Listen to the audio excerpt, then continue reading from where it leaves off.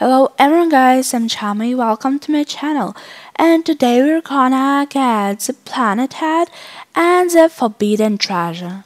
To get it you need to go right on this one location and upgrade the magnet cause anything else won't work. How you can see I've tried in my first attempt to get it and I've upgraded now the magnet and I didn't got it.